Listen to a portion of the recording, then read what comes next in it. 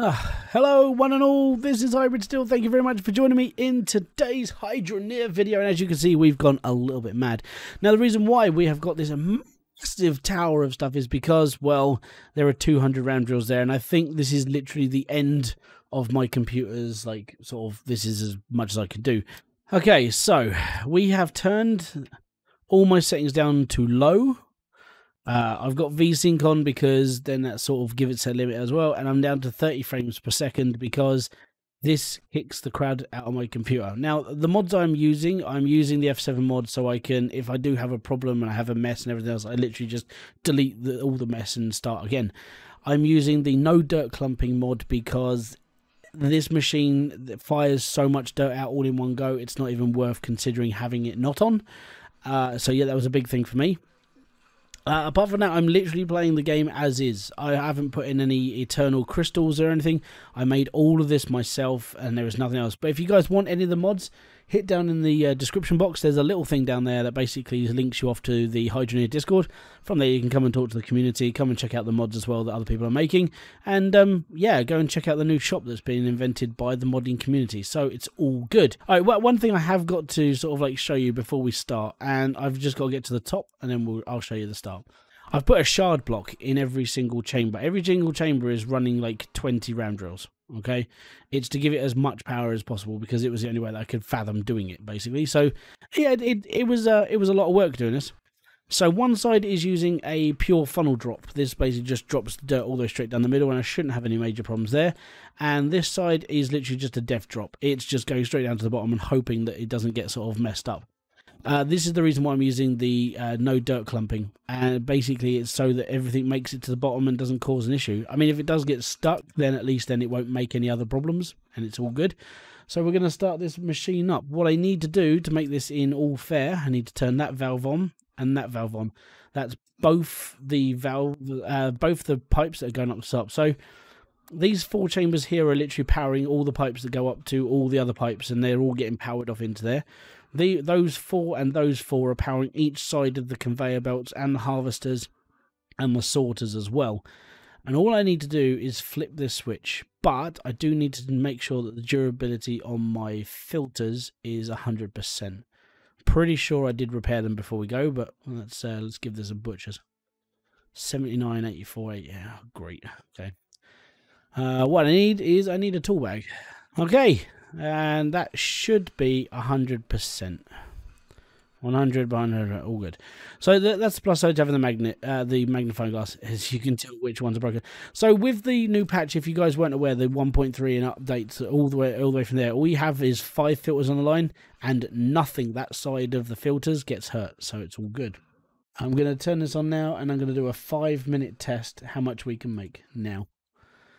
So this is going to hurt. Like, well, it's not going to hurt so much. It's just going to be a lot of loading. This is why I've turned the, um, this is why I've literally turned everything down because so much gets made so quickly.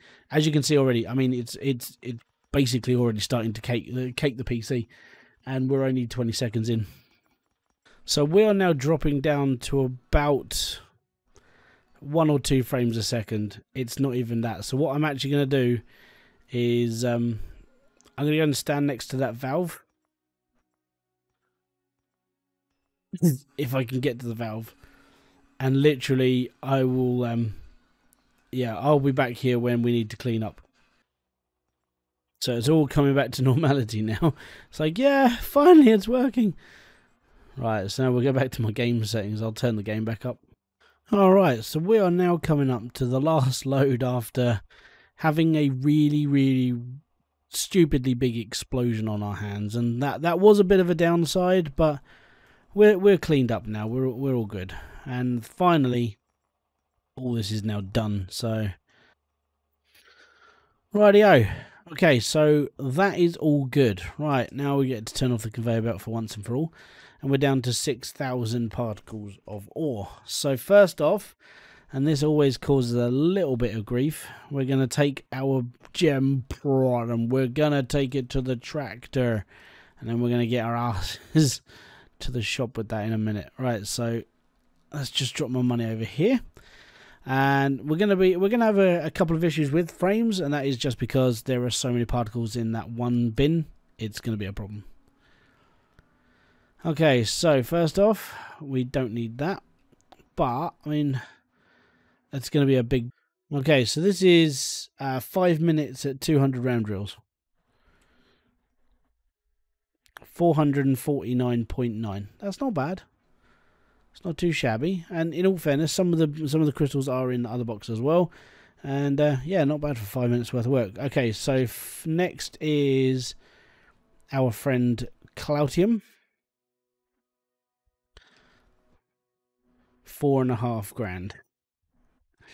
Nice. Right, so we, just shove that in the back of the truck. Okay, so first off, we need our metal. Now, metal we're going to have to bung into the uh, funnel. Uh, not funnel, the furnace. Then we're going to cut it into three sections. Right. Let me just get the sword highlighted. There's my hammer. One. Two. Three. Hammer time. There you go. Right. Okay, cool. So uh, we get our... Where's our gemstone gone? It was literally... There it is. Under the saw. Ever so tiny. Right. So we need to put our gemstone on the anvil first. Switch this to necklace. So pull out that. Stick it on the anvil. Stick that on the anvil. Get my hammer. Oh, wrong one. That's my floorboard.